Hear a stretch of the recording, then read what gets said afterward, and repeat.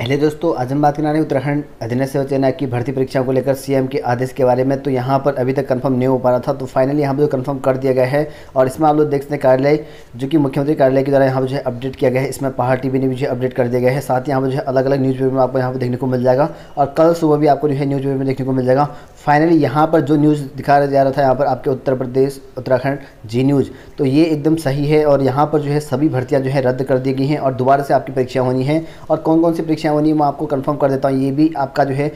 जो ये official page है मुख्यमंत्री कार्यालय के द्वारा, इसमें आप लोग देख सकते हैं कि आज जो है श्री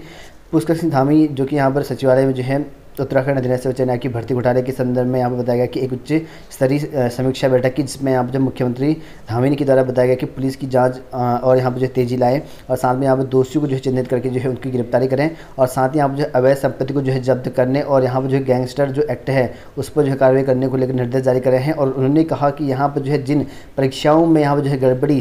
के साक्ष्य मिले हैं उन्हें जो है निरस्त कर जो है नई सिरे से जो है चयन प्रक्रिया शुरू की जाए तो यहाँ पर देख सकते हैं आपकी सभी परीक्षाएँ नहीं हुए जो परीक्षाएँ में आपकी गड़बड़ी मिली है, अगर आपके पास साक्ष्य हैं तो यहाँ पर जो है प्रूफ जमा कर दें, वही परीक्षाएँ आपके यहाँ पर निरस्त कर दी जाएँगी। यानी कि आपके जितने भी स्टेप को अभी तक के साक्ष्य मिले हैं जिन जिन भर्तियों पर गड़बड़ी हुई रखी है, उन सभी परीक्षाओं को निरस्त कर दिया जाए, ऐसा जो है आदेश है। और जो कि परीक्षाएँ साफ़ सुथरे ढंग से यहाँ पर गतिमान है, उन्हें जो है सुचारू रूप से यहाँ पर जो है समय पर जो है संपन्न करा दिया जाए। तो यहाँ पर देख सकते हैं कि जिन परीक्षाओं में कोई घपला नहीं हो रखा है, उन्हें जो है आगे बढ़ा दिया जाए, इसके आदेश जारी कर दिए गए हैं। और मुख्यमंत्री धामी के द्वारा कहा गया कि जिन परीक्षाओं के माध्यम से यहाँ पर दागी व्यक्तियों की जो है नियुक्ति मिली है उनकी नियुक्ति जो है निरस्त कर उनके विरुद्ध जो यहाँ पर नियमानुसार कार्रवाई की जाए, जिनमें यहाँ पर जो आपके पुराने बहुत सारे भर्तियाँ ऐसे जिनमें यहाँ पर दोषी पाए गए हैं, उनके साथ यहाँ पर कड़ी से कड़ी सजा मिलने की बात कही गई है और यूके पर सी सुचारू रूप से यहाँ जो चलाने के लिए यहाँ पर जो है यथाशीघ्र एक अध्यक्षिका में नियुक्ति की जाए और साथ ही यहाँ जो मुख्यमंत्री धामी ने यहाँ जो भर्ती में उजागर हुई कमियों पर जो है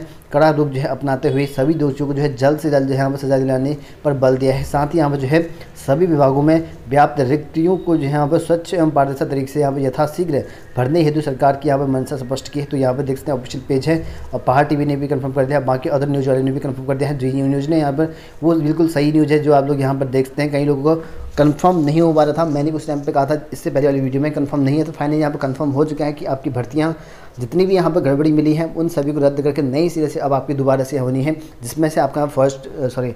जो ये आपके